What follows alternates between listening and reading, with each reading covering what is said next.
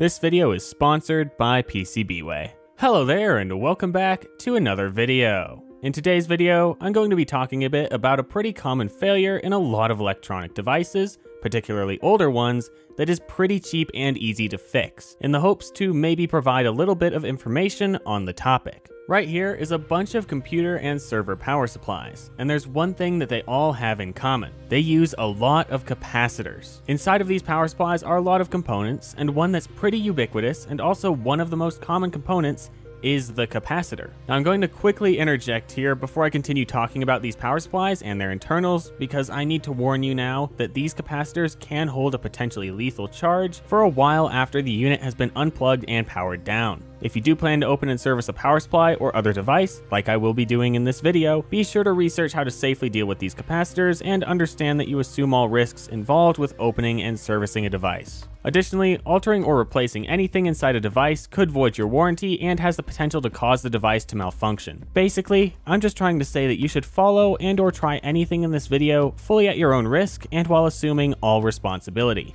Stay safe. That warning will probably show up again later in this video, but it's important to make the dangers of messing with these devices clear right out of the gate. Alright, back to what I was saying before, these capacitors are in every one of these power supplies and generally there's quite a few of them. So what's special about them? Well, specifically in older devices and especially devices which were manufactured somewhat cheaply, these capacitors are a pretty common cause of failure. The thing is, these capacitors typically cost less than a dollar to replace, and if you have some basic soldering skills, as well as the ability and confidence to ensure that the dangerous capacitors in the units are discharged and safe, it's usually an incredibly easy and cheap repair. Being aware of this and knowing how to do it can save you a reasonable amount of money and allow you to breathe some new life into old devices. I say devices here because capacitor failures don't just happen in power supplies. Pretty much any device with such electrolytic capacitors, like computer monitors, TVs, AV receivers, among many others, are all susceptible to this exact failure. I'm only using power supplies as an example today because being a computer guy, I've seen countless failed ATX power supplies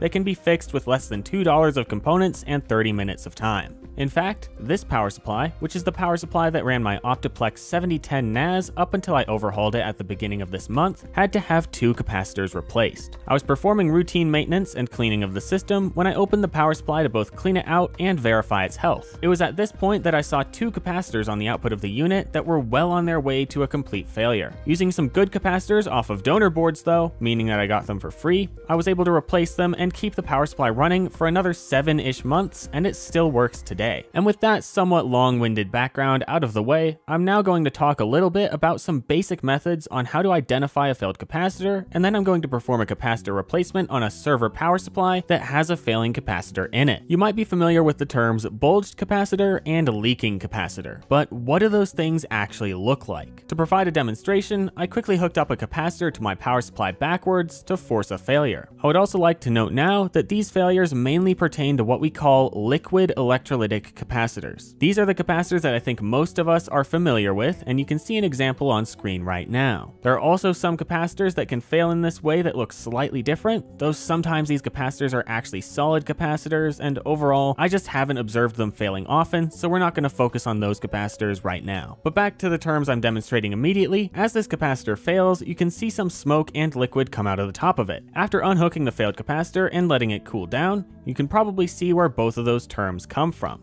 A bulged capacitor is a capacitor whose top is no longer flat, like the top of this capacitor. On the same note, a leaky capacitor is a capacitor that has started to leak its liquid out, which usually happens on the top of the capacitor. The bulging of this capacitor is caused by excessive heat in the capacitor as it fails. The liquid inside the capacitor expands and sometimes turns into steam, which makes the purposefully weakened top of the capacitor bulge. Most electrolytic capacitors that aren't super tiny have these patterns on their tops, which weaken them so that this happens as they fail. The top will first bulge outward, and after a certain point it should burst open, which will release the pressure inside the capacitor in a more controlled manner, like we saw earlier. This obviously lets some of the capacitor's liquid out too, which is what a leaky capacitor looks like. This is generally considered the most common way that these capacitors fail. Though it is possible for them to fail differently, and we'll actually get to a first-hand example of this shortly. Before we move on, I would like to touch on explosive failures of capacitors, because they do happen. These failures are pretty rare to observe in any capacitor of a reasonable size though, because of the weakened tops put on them, but on smaller capacitors without this design, occasionally when they fail, they will explode. So make sure that you're also looking out for capacitors that look like this one does. So now that we know what a common failure of such an electrolytic capacitor looks like, it's time to take a look at the power supply that I'll be working on today. These are some 750 watt power supplies that came out of my Dell R720 server. I actually bought some 1100 watt units, which I'm going to be using in the server, so these power supplies aren't needed immediately, but I would like to have them available as a backup set. A while ago, I opened them up out of curiosity just to see how they packed 750 watts of power supply into such a small package, but I ended up discovering something concerning when I did this. One of the two main filter capacitors in the units was bulging and would likely completely fail in the near future. It hadn't made the power supply fail yet, but it very possibly could, and so it needed to be fixed. Also, before continuing, if you're looking for how to safely handle a potentially live power supply board, the way that I'm handling the unit in these clips with this repair is absolutely not how it's done. I'm only doing this because I have previously verified that the unit is absolutely safe, and I'm certain I'm not at risk here. Here you can see side by side the visibly failing capacitor compared to the one in the other unit that doesn't look to be failing. Interestingly, in these 750 watt units, Dell kind of cheaped out on the capacitors. They used a significant amount of capacitors from the brand Capxon, which in general aren't recognized to be some of the highest quality capacitors available. Based on what little of the label on the other power supplies capacitor I can read, it seems like the failing capacitor is also a Capxon cap, which is just an interesting observation because in this case, it's the cheaper capacitors that are actually failing. Pay attention to what capacitors your devices use, it seems to actually matter. For me, the next step is going to be to remove this old capacitor from the board. After removing the board from the power supply's case with the few screws that held it in, I could access the bottom of the board with all the solder joints. It's really important at this point to be sure that the capacitors are discharged as their direct contacts are now exposed. I located the pins that should correspond to the capacitor and desoldered it from the board with my soldering iron and a cheap solder sucker. These solder suckers are great for this job because they make it easy to remove the old solder from the holes in the board that the new capacitor's legs will have to go through. Do note that sometimes there is some silicone glue holding the capacitor in place on the other side of the board, so break that up if necessary. After a bit, I had my capacitor removed, and interestingly, it was leaking out of one of its legs and had corroded to the point that it fell off. But anyway, with the old capacitor that was in worse than initially expected condition removed, I pulled off the yellow tape and discovered that we're dealing with a 47 microfarad 500 volt capacitor. That first number is the capacitance of the capacitor, which in the case of pretty much every electrolytic capacitor you'll find in a consumer device will be measured in microfarads, represented with a lowercase Greek letter that looks very close to a lowercase u,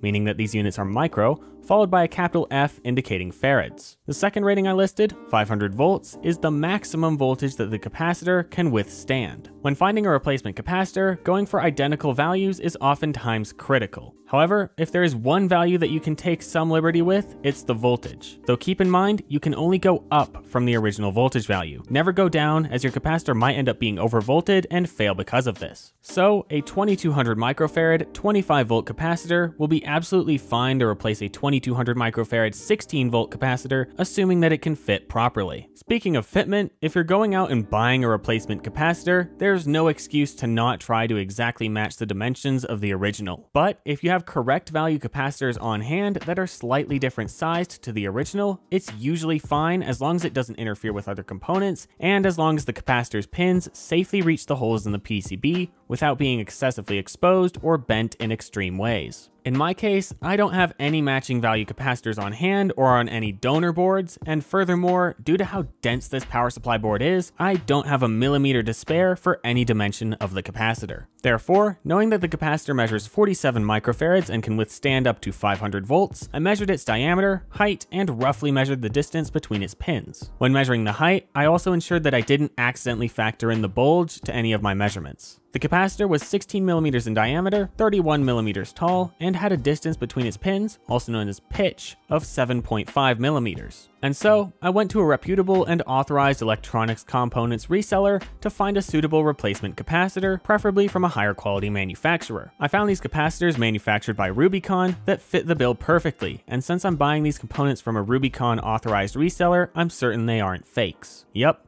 Fake capacitors are a thing, which is why I don't buy components for these kinds of applications from eBay or Amazon. They might be fakes and they might fail prematurely. These capacitors were kind of expensive, but I'm okay with that because I'm certain that these capacitors won't fail like the old ones did. I bought two because I want to replace the same 47 microfarad 500 volt capacitor in the other power supply as a preventative measure. A few days later, they'd arrived and I was ready to install the new capacitors. Installing the new capacitor is super easy. Quite literally, plug it into the board board, solder it in, clip the excess legs, and be done. However, one crucial thing to keep in mind is that since these are electrolytic capacitors, they're incredibly sensitive to being hooked up the right way around. You cannot swap positive and negative or they will immediately fail. Hooking up positive to negative and negative to positive is exactly how I caused my demo capacitor to fail earlier in the video. Usually, the polarity is marked on the board itself, but take a picture before removing the old capacitor if it means you can be certain you'll install the new one the right way around. With the new capacitor installed, and in my case a little bit of electrical tape placed on one side of it that was pretty close to some solder joints on a PCB module just for some extra protection, I was ready to fully reassemble the unit and test it.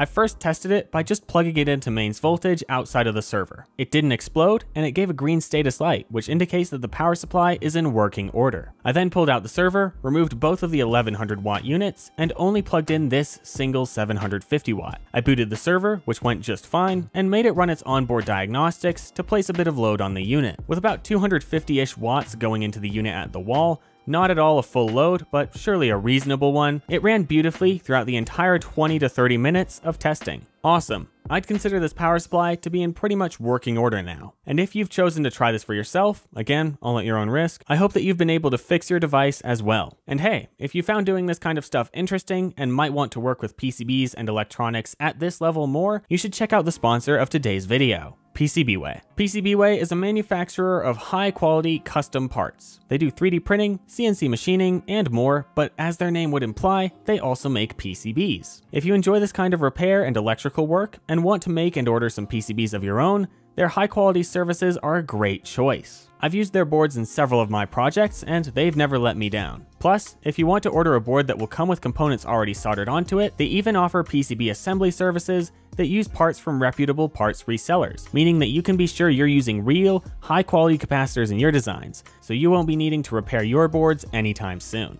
Now, I didn't record the repair of the other power supply because why would I show you the exact same job twice, right? However, after I'd removed the old capacitor, I realized that my decision to buy a second replacement capacitor and perform this replacement on the unit that didn't seem to be failing was actually very smart. Take a look at this capacitor. It looks fine, right? Well, as I've mentioned before, bulging and leaking out of the top of the capacitor is a pretty common way for them to fail, but it is not the only way. Now that it's off of the board, look at this thing. It's blown through the plastic bottom of the capacitor and completely eaten one of its legs. It's just gone. In full honesty, I've never seen a capacitor fail like this, but my goodness is this a bad failure. A convenient little demonstration of bulging and leaking out of the top not being the only ways that capacitors fail. In any case, the power supply is now in a much better state with its new Rubycon capacitor, and it'll make a good backup unit. Now, this video was really intended to bring awareness to capacitor repairs and their simplicity to those who may not know about this yet, but I guess it's also serving a bit of a different purpose right now. If you have some decently old 750 watt power supplies in your R720 servers, and I'd assume other servers for that matter, if you can do it safely and assume the risk, open the units up and give those capacitors a check. They might be on their way out. You may have noticed that in this video, I did not cover my method for ensuring that these power supply boards are safe and that their large capacitors are discharged. And I did this because other people have already discussed this more accurately and better than I will be able to. Before attempting to work on a power supply or other high voltage device, do some research and find out how to do it safely. And once more, if you decide to try anything in this video, you assume all risk and responsibility. Well, that's all that I have to share with you in this video. I hope that you were able to at least enjoy it and maybe even learn a thing or two. In any case, I hope to see you next time. Goodbye.